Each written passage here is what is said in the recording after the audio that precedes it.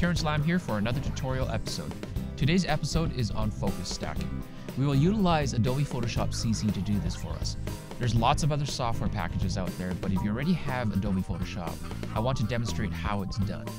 Focus stacking is often used to increase the depth of field without losing the isolation you might have in a background. This is great for macro photography, product photography, or even landscape photography. The main benefit is to keep your aperture low so it doesn't get softened by the higher apertures like f16 and up. I'm going to demonstrate this today with a simple product sample and utilizing only three images. Normally it would be better to do it with nine or more, but for this tutorial I'll just demonstrate it with the three. You'll need a stable tripod, a macro lens setup, and optionally a focusing rail. A focusing rail is the preferred method as it gives much finer control over how you focus back and forth, and often focus rails have indicators to tell you how close or far you are to your subjects. All right, let's get started here. So the first thing you're going to need to do is you're going to go to the windows and as always with most of my tutorials I always suggest for you to reset your workspace so that it is on the essentials default. It's already set to the essentials default so you'll see that none of my palettes will change but always start off with that. So you head over to the file and go over to scripts. We're going to load up the pictures here and you're going to go over to load file into stack.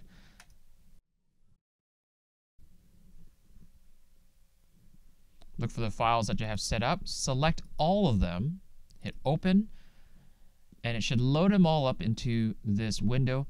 Don't worry about any of these buttons in here. They should be all turned off uh, by default and hit OK.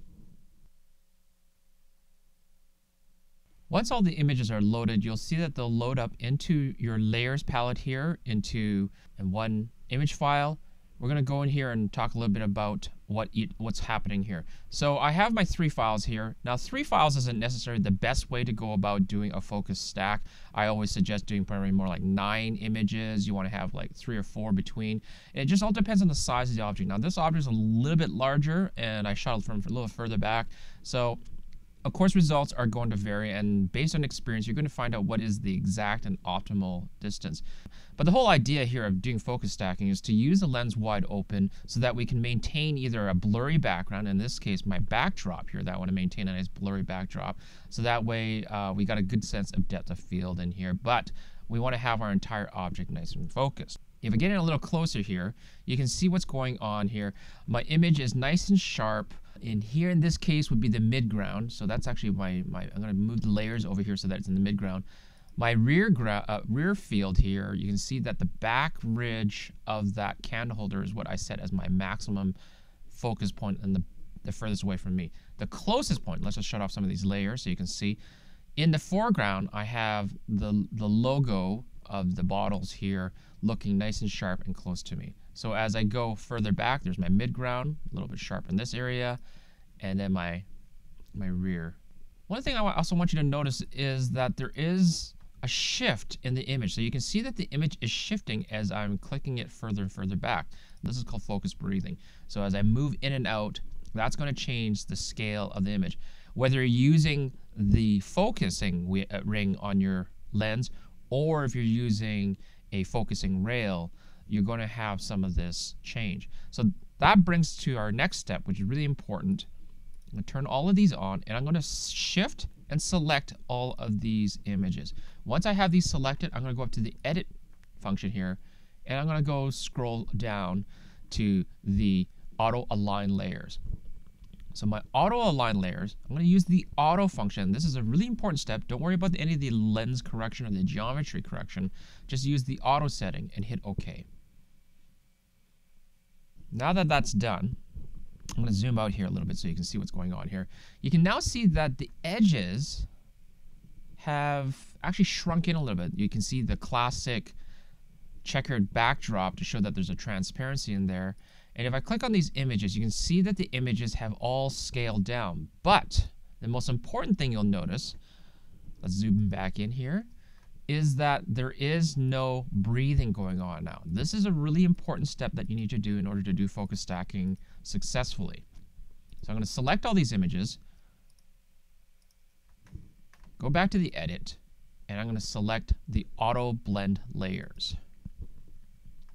Again, select the default setting, which would be the stack images and the seamless tone colors, and hit OK. Now, depending on how fast your computer is, this might take some time to process. Another thing that you should consider too is the more layers that you photograph, so as you rack your focus closer and closer to the back of your object, the more images that you capture, the less likely you're going to get errors in the document. However, the more layers that you you start with when you're doing this process, the slower your computer is going to be because of all the processing that it needs to do. Photoshop actually does a pretty amazing job at trying to calculate what is going to be the sharp areas and what are what's not going to be the sharp areas. So you can see that my computer has finished processing here and we have our finished image. Our backdrop is still nice and blurred out in the background. Our objects that we have focused on this image are all in sharp focus. And if we look over here at the palette, you can see what's going on. So what's happening here is that all the individual layers and Photoshop has tried to calculate what is sharp. Now what I'm going to do is I'm going to shut off each of these layers so you can see what's going on here when we look at the screen. So as I shut off each of the layers, you can see that Photoshop has actually gone out and tried to find sharp contrast, kind of like focus peaking, and it's doing its own peaking to find out where that is.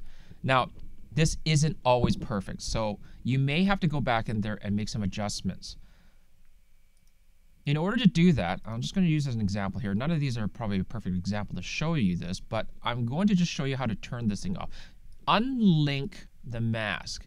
And the reason why you want to do that is because you want to be able to go in there and, and make some adjustments.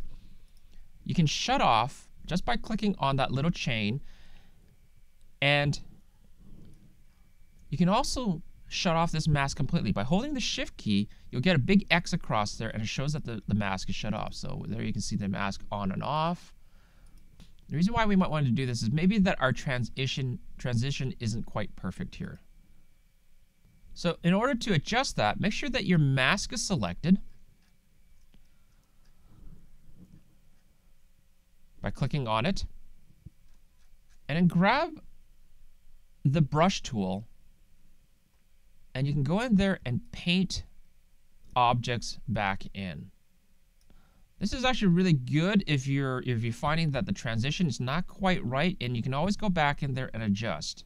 Once that's done, you can turn things back on and then you can see whether or not that that worked out. So there you go. We have all the images are combined now.